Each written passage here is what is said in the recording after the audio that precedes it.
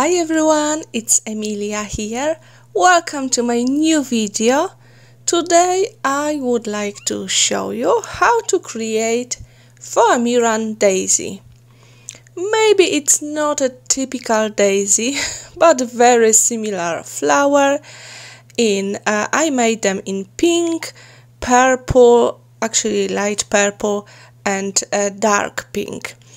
So to create them, you will need a piece of foamiran.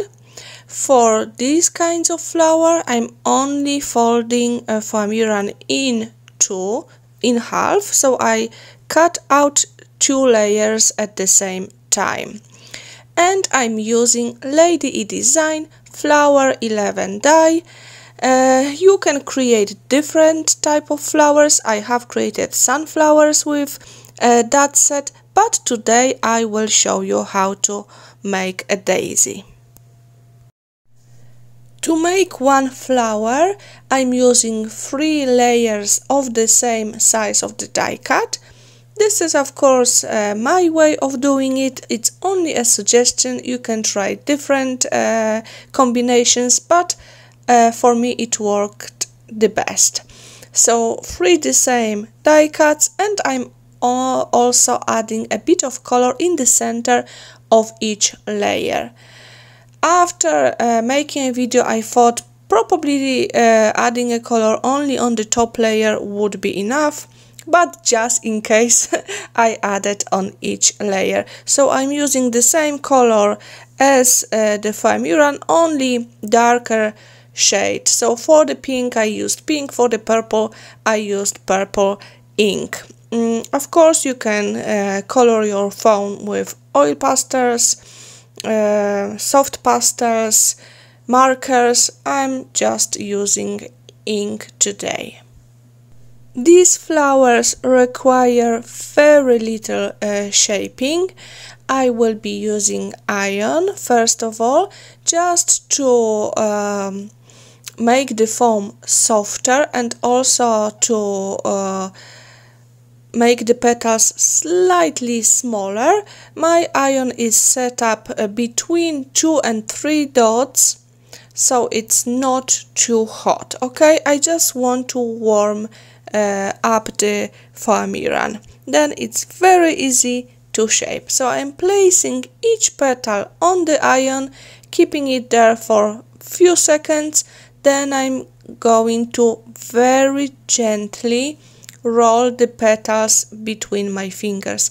But I'm almost not pressing. This is very very gentle because if you will uh, do it hard you will just your petals will be very uh, wrinkled.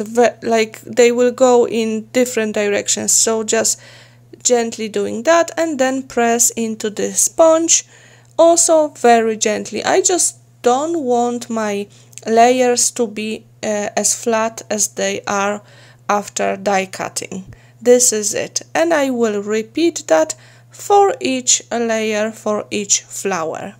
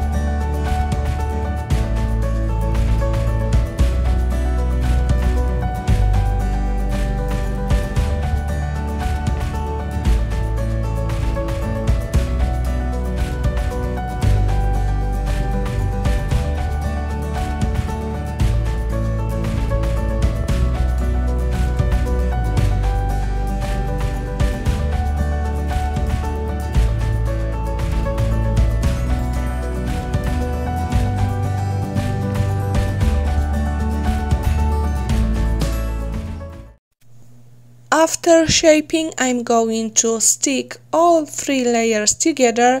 I'm adding a very small dot of a glue in the center of each layer and applying the another layer on top.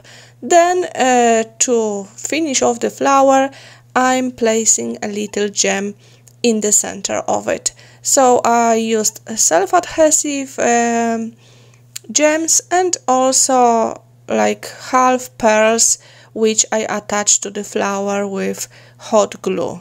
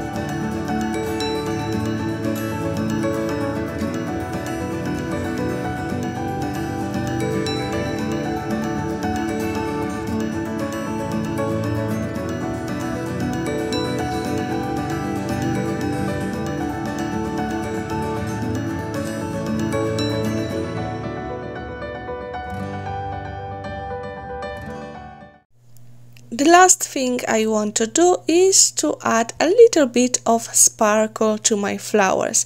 I will be using glue and uh, glitter. Remember to use a glue that dries clear so you will not see it uh, when it's dry. Uh, I'm using the Glamour Dust, the, the glitter, it's called Glamour Dust. I uh, absolutely love it. It's white with um, many like very uh, tiny pieces of color. It's very fine glitter really nice for uh, my flowers for today. And this will be it. Uh, i hope you like the video and i hope that you will create similar flowers. Let me know in the comment what do you think and i also invite you to watch my other flower making tutorials Thank you very, very much. Have a lovely creative day. Bye bye.